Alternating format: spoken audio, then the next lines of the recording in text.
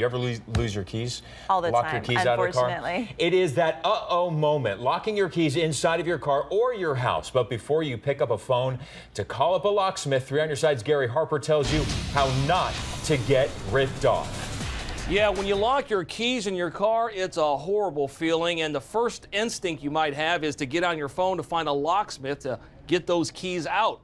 But that could be the worst thing you can do because you don't know really who's showing up. Gary Harper from Channel 3 News. Yeah. How are you doing? Three on your side has confronted locksmiths several times before, like in this encounter. You can call him and check it out. I've already talked to him. He's really mad at you. In fact, he's putting out this flyer saying that you're a phony, phony locksmith. That's It's you. Not me. That's you. No, it's not me. You can check it out. Yeah, I've already checked it out. I'm talking to you. Sure. But you're running me. you're running away. In this report, this guy claimed to be a locksmith and after doing a minor job for a consumer, he stuck her with a $1,000 bill. But the locksmith we talked to say that this should not have cost almost $1,000. Uh, I don't care. Every locksmith have the different price, and this is the price for the company that I work with. Price gouging in the locksmith industry has been a problem for years, and it doesn't look like it's going away anytime soon. Just ask Sky Johnson, a 17 year old high school student. He charged my bank account for $289 instead of 55, which is what I originally signed for. Sky recently locked her keys and her softball bag in the trunk of her car here at this Tempe softball field. After calling around for a locksmith, she found herself talking to a company called 24 7 Locksmith Services, which, according to Sky, told her it would only cost $55 to come out and get her keys from her trunk. She agreed, but once the job was done, she had sticker shock. He came back and handed me my credit card and then two receipts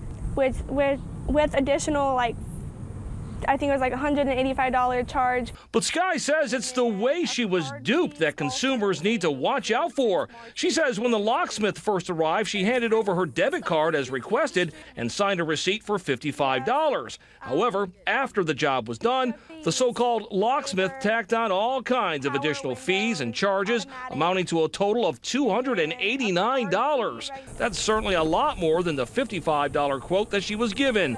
Charlie Eastwood isn't surprised at all. You called out this criminal that did this or did that and inflated the prices on the on the work order after the, he ran the customer's credit card with them thinking it's going to be one price and now suddenly it's exponentially higher. Charlie is a professional locksmith who's known in the industry as Locksmith Charlie. He's been in the business for 25 years and says what happened to Sky is a common problem. But when somebody's given one price and then when whoever comes out is trying to browbeat you into paying something exponentially higher, that's called bait and switch and it's consumer fraud. Locksmith Charlie says to avoid becoming a victim, you should have the name and number of a reputable locksmith handy before you ever need it. For instance, plug it into your cell phone or write it down somewhere. And when it comes to signing paperwork, If they say, okay, uh, service call, $55, put your signature on the line immediately below that line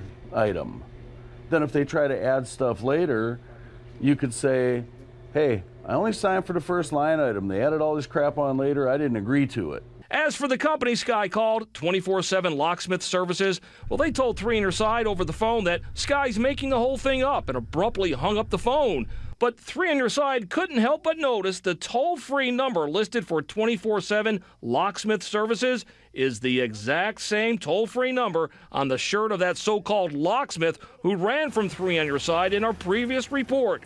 Sky says someone needs to be watching the locksmith industry more closely. If I could make 300 bucks in 2 minutes, I would be doing it all day. Well, a little bit of good news to report, and that is Sky's Bank, which is Chase Bank, after our involvement, they decided to adjust her account and they only charged her for $55. All those extra fees, Chase adjusted it and gave her the money back, which I really appreciate. In the meantime, if you're trying to find a legitimate locksmith, just go to our website at azfamily.com and I'll have a link there for you. I'm Gary Harper, three on your side. Some good information, Gary. Thank you.